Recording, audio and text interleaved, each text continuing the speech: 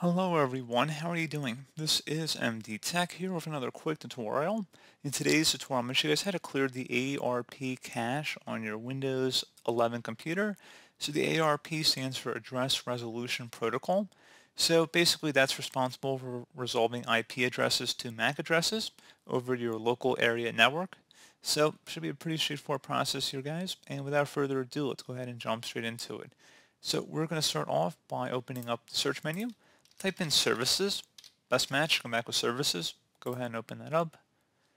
And you want to locate the routing and remote services. So go ahead and scroll down here. And go ahead and double click on it. At this point, you want to go ahead and stop the service if it's currently running. And then if it's currently enabled or set to automatic or automatic delayed start, you want to go ahead and disable that service and then you would select apply and OK. And then once you're done with that, you go ahead and close out of here and actually restart your device.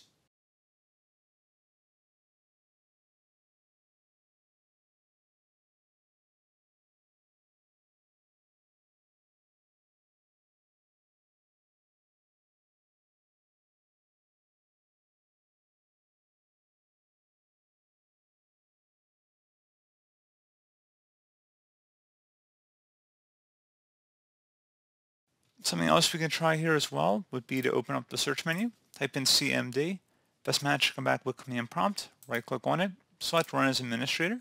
If you receive a user account control prompt, select yes. And now I will have a command in the description of my video guys. I want you to copy it and then go up the top bar of the command prompt window, right click on it, select edit and then select paste to paste it in. It should come back with OK. And then once you're done with that, you go ahead and close out of here again and then restart your device one more time.